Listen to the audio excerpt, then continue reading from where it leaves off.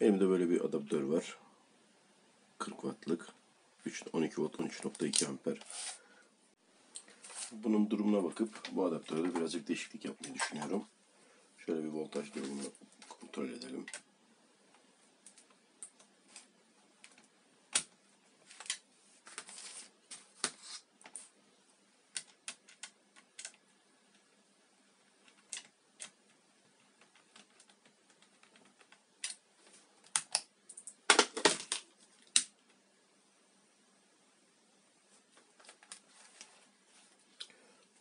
...12 voltluk bir adaptör. Şurada şöyle üzerinde bir ayar kutumuz var. Bakalım hangi aralıkta çalışıyormuş. 8 voltta 13-14 volt arası bir ayar sağlıyor bize. Bunu değiştirip 15 voltla işte düşebildiğimiz kadar düşmeyi düşünüyorum. 15 voltun üzerine çıkmayacağım. 12 voltu çok daha yukarılara çıkarmanın manası yok.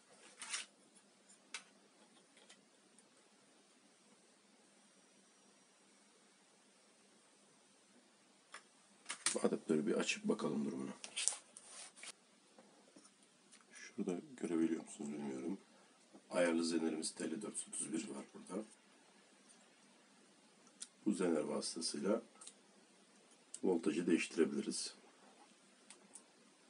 Buna göre bakalım direnç değerlerinden hangi dirençleri takacağız ona göre bir bakalım.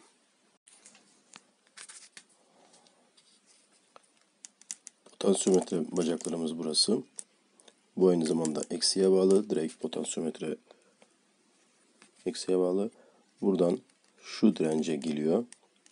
Burası zaten TL431'in bir numaralı bacağı.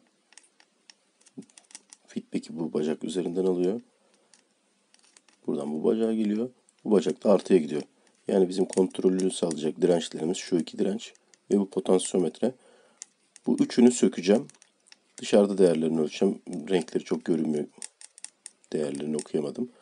Dışarıda ölçüp ona göre bir direnç değeri ayarlayacağım. Devremizdeki adaptörümüzdeki potumuz 1 kilo. Hemen üzerinde bir tane 1,5 kilo ohm'luk direnç var.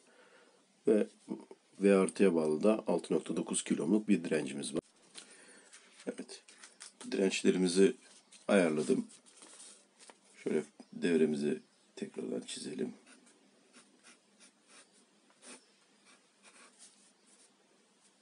Bir tane potansiyometremiz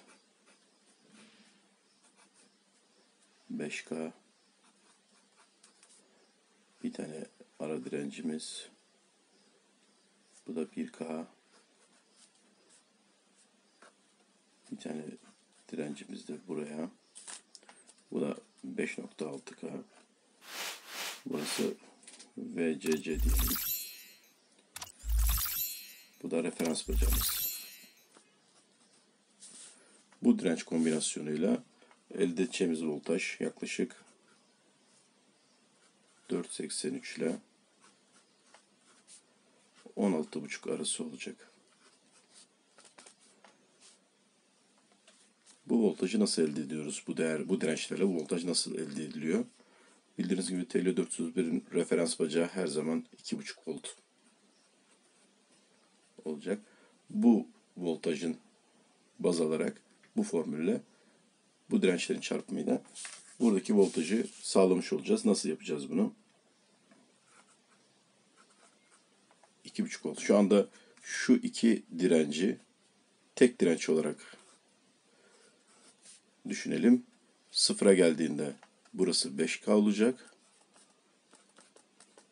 Maksimum değerinde de burası 6K. Şey özür dilerim sıfıra geldiğinde burası 1K. Potansiyometre sıfıra geldiğinde burası 1K. Maksimum değerinde burası 6K. Yani bu R2'yi bunu R2 olarak hesaplayalım. Buna da R1 diyelim. Formülde tersten gittiğimizde ilk önce bu değere R2 değerine 2,5 voltu referans voltajını 2,5 volta bölüyoruz. 1 olduğunda 1K olarak olduğunda sonuç 2,5 çarpım da R2 ve R1'in toplamı oluyor. 1 ile 5.6'yı çarptığımızda toplayıp 2.5 ile çarptığımızda elde ettiğimiz değerde yaklaşık 16,5 volt olacak. Aynı şekilde buradaki değeri 6K'ya çıkardığımız yani potu maksimuma çıkardığımızda buradaki değer 6K olacak. Bu 6K'ya çıkardığımızdaki sonuçta 0.41 gibi bir sonuca denk geliyor.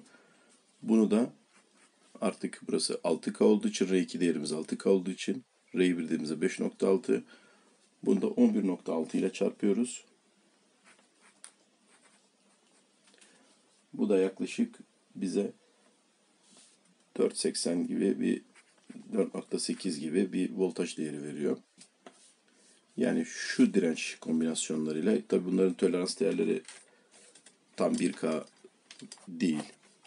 Biraz tolerans değerleri dışında o yüzden devre üzerinde değerler birazcık değişik olacaktır. Gördüğünüz gibi bu 0.97 970 ohm.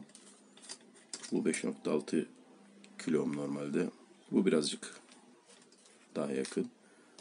Bu da maksimum değerde 5 kilo ohmluk putumuz.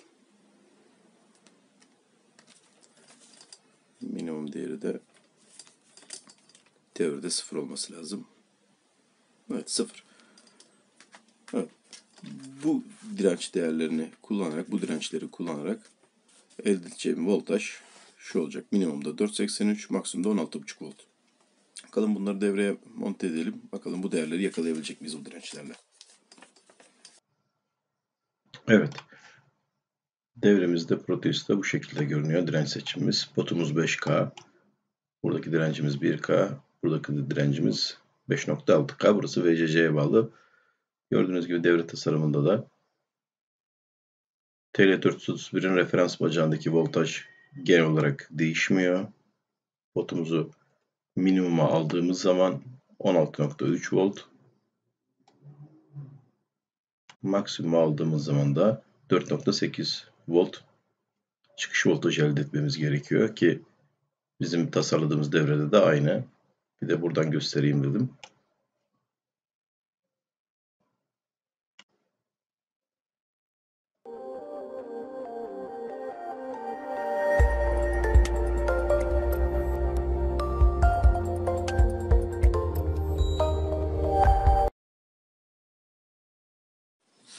Dirençlerimizden bir kaldık olanı potansiyometrenin bacağına paralel olarak şu bacağı takacağız.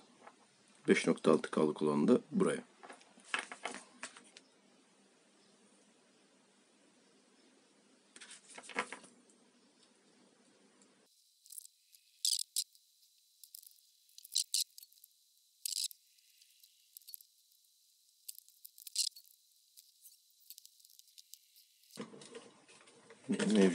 Bir pasta kalıntısı varsa olmak için şöyle birazcık temizleyelim.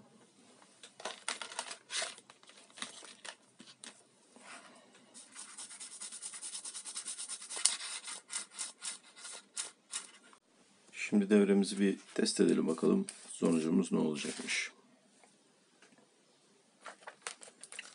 Ölçü aletimizi volt kademesine alalım.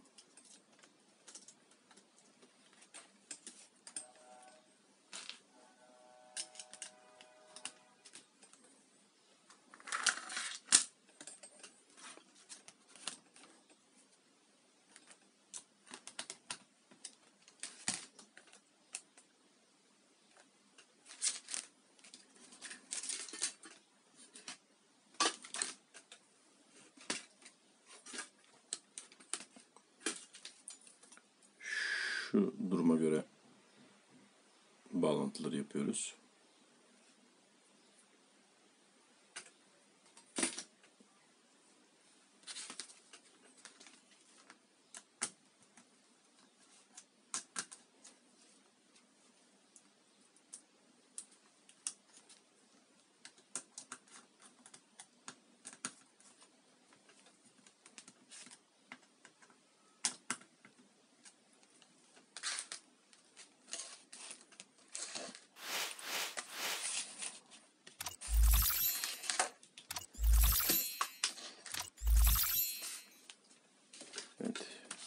Adaptörümüzü pişi prize takalım.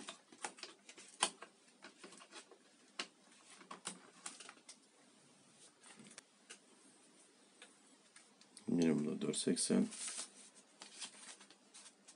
hesaplamıştık. Maksimumda da voltaj değerimiz 16.5 gibiydi. Evet şu anda görünen ki hesapladığımız değerlere neredeyse birebire yakın tutturmuşuz. Dirençlerimizin toleransları da doğruymuş.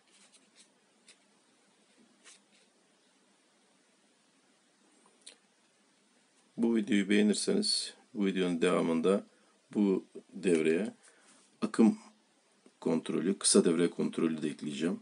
Kısa devre koruması da ekleyeceğim. Sonra bu devrenin devamında, bu videoların devamında bir tane laptop adaptörüne aynı tasarımı yapacağız. Umarım bende kalırsınız. İzlersiniz, yorum yapıp beğenirseniz, bana destek olursanız sevinirim. Teşekkür ederim. Şimdi devreyi toplayıp bir de öyle görelim. Evet devremizi topladık. Bu şekilde şuradan saçın şu kenarlarını köşelerini yan keskiyle keserek potansiyometreyi buraya bağladım.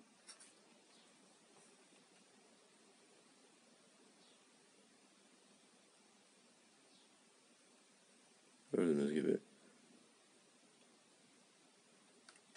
düzgün çalışıyor. Bir de güçte güç durumunda görelim istiyorum. Bakalım.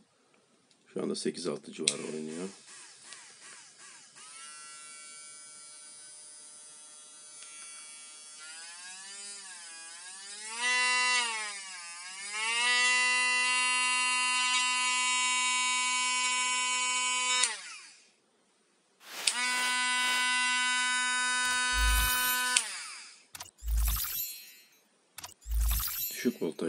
Birazcık salını yapıyor. Bu da zaten bunun, buna verdiği gücü karşılayamadığı için o kadar da bunun için normal.